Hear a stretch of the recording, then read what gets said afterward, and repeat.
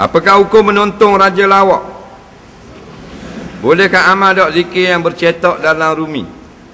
Jawabnya kalau zikir itu cetok dalam rumi dan kita tak dapat menyebut dengan betul kerana rumi itu tak dapat nak nak menterjemahkan sebutan yang betul, maka zikir kita tidak berpahala.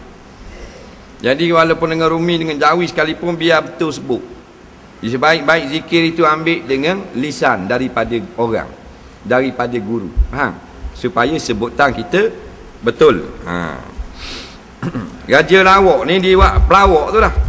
Ni diwak lawak. Lawak ni bukan maknanya tu.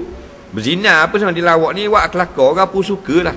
Jadi program-program ni tidak baik sebenarnya. Tapi tak lah siapa haram kita tengok. Ha. ha. tapi kalau ada orang puang dengan buat pelik-pelik dedah aurat itu gini tak payah tengok lah. Eh? dipanggil dalam perkara yang laro ne benda laro dia tiga yang kita buat. Benda haram benda haruh benda lara. Nak eh benda haram benda benda pahala benda dosa benda lara. Neh? Ha, benda haram kita buat hak maksiat. Nak boleh dosa. Benda hak boleh pahala dapat kebajikan. Selagi pahala pun tak ada.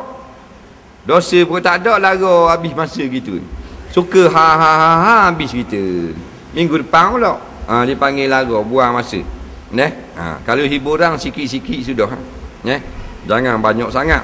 Jangan kita sampai tak tahu ke benda.